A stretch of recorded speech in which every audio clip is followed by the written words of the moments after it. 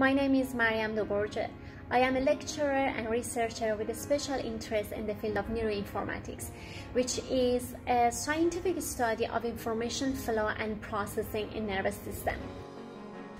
This is an interdisciplinary field of advanced artificial intelligence that stands at the intersection of neuroscience and information science.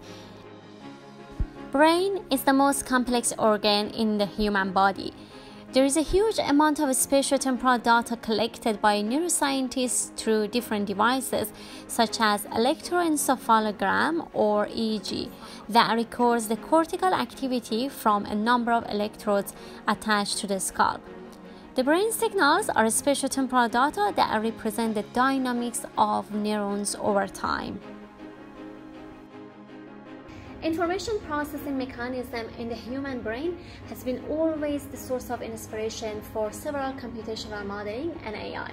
However, an efficient integration of space and time components of brain data into one unifying model has been always a challenge in AI technology.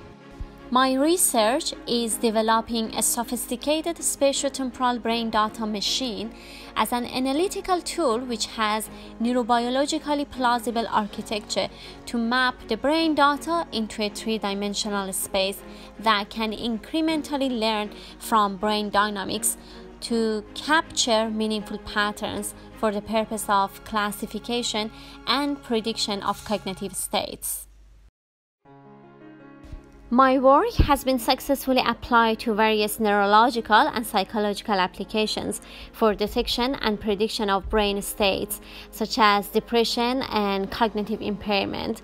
Also applied to marketing space for prediction of consumer choices and preferences. In addition to develop and implement AI technologies, I am very passionate about knowledge dissemination in state of the art AI and raising public awareness, especially among women in science and technology space. That's why I have been a keynote speaker in different events and seminars to share my research outcomes and initiate collaborative projects that can improve decision making and decision support in mental health and neurological applications towards improving well being.